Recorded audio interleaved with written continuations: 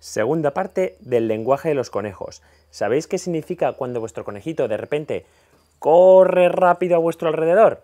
Pues ahora lo vais a averiguar. Pues recordaros que este es el segundo vídeo de cuatro que os vamos a hacer sobre el lenguaje de los conejos. Y como ya os he dicho, el lenguaje de los conejos, los conejos no hablan como tal, pero sí que nos muestran muchas actitudes corporales, muchas acciones que podemos interpretar en uno u otro sentido en función de lo que nos quieren decir los conejos, que esto es lo importante de este vídeo. Sabéis que son animales muy inteligentes, muy inquietos y que nos quieren decir muchas cosas y que además son muy expresivos y lo sabemos entender. Una de las cosas que yo os quiero contar es el, olfateo.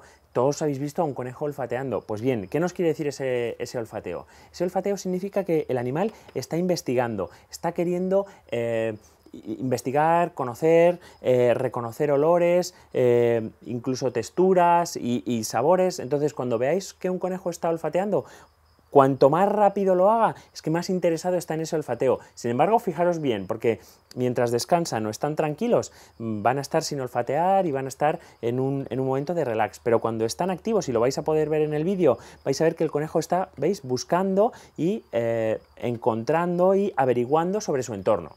Hay dos situaciones en las que los conejos se sienten a refugio y se sienten a salvo. Una es enterrarse debajo de la tierra, que en ocasiones si tenéis un jardín vais a poder ver que los conejitos hacen galerías y se esconden para refugiarse, y otra es en casa, que es más habitual, como no pueden rascar, entonces lo que hacen es saltar encima de sillones, encima de sillas, seguro que eso lo habéis visto, y aquí nuestros conejitos también lo están haciendo con la cesta. Si les pones un lugar que sea un poco alto, ellos van a saltar para otear mejor el horizonte y para estar a salvo del suelo.